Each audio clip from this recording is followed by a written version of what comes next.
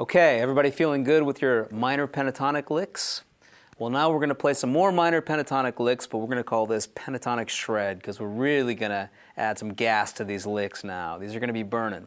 And we're going to move up to F sharp. So we're going to have a different jam track now, and we're going to play these using the same minor pentatonic scale, but starting on F sharp. So here, check out the next nine licks using F sharp minor pentatonic.